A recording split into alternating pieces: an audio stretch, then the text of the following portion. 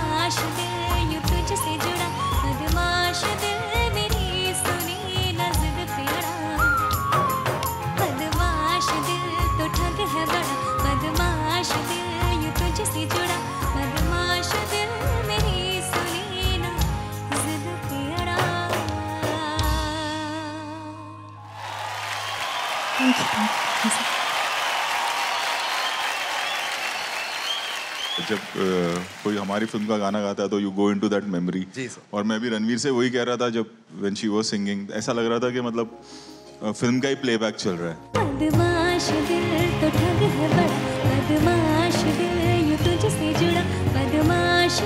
है ऐसा लगा ही नहीं कि आप यहाँ पे यू आर सिंगिंग या एंड एक होता है ना कि you go back and you think कि कभी हमने सोचा नहीं था कि तब हमने एक एक्शन नॉर्मल एक एक्शन फ़िल्म बनाई थी, आज वो एक कॉप यूनिवर्स बन चुका है। तब कभी सोचा नहीं था जब हम ये सब कर रहे थे। So thank you so much for making us relive जो हमने काम किया है। Thank you so much